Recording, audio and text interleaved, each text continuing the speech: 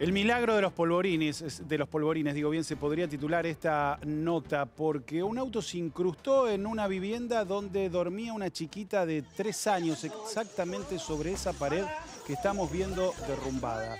El automóvil allí los vecinos intentándolo sacar. ¿Por qué? Porque su conductor, luego de provocar este accidente, se fue caminando y los vecinos y testigos dicen se fue caminando y tambaleaba.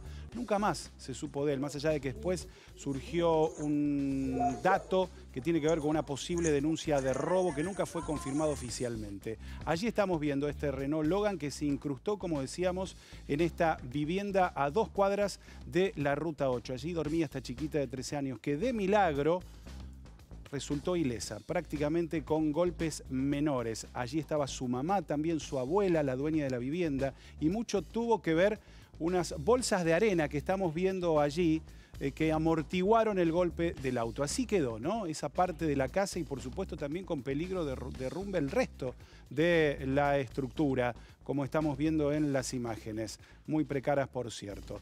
Bueno, eh, por eso hablábamos de milagro. Quien habló en esta, en esta nota, quien habló es la abuela de la chiquita que por supuesto hablaba de este milagro de los polvorines.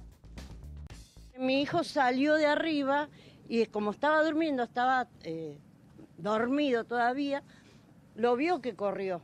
Pero cuando él quiso correrlo para agarrarlo, para retenerlo, que venga la policía, no estaba. ¿Estaba alcoholizado?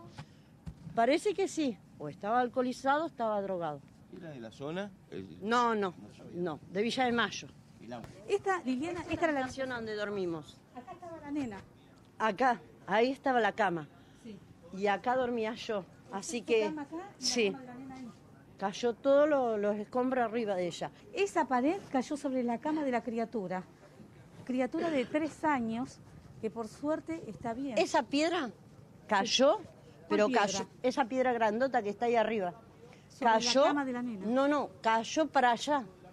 Pero los otros escombros que vendrían a ser eh, ladrillo, eso cayó arriba la nena. Todo esto era pared, todo esto era pared. Fíjate que todo esto era la... Mira, fíjate, hasta, ah, hasta la puerta, Liliana. Sí, sí, está la puerta ahí, está, así que me, me rompió toda la casa.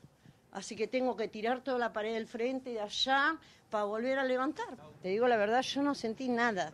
Solamente que mi nieta empezó a mi hija me empezó a buscar los, los entre medio los escombros a mi nieta. Así que bueno, acá fue un milagro de Dios que Dios salvó la vida de mi hija, de mi nieta.